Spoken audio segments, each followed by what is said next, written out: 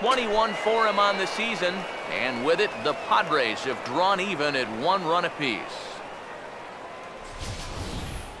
Well, we can show you the replay here, but I'm not all that convinced that this ball has even come down yet. Goodness gracious. This is a fastball that he absolutely barrels up. And with his strength, this ball's going a long way.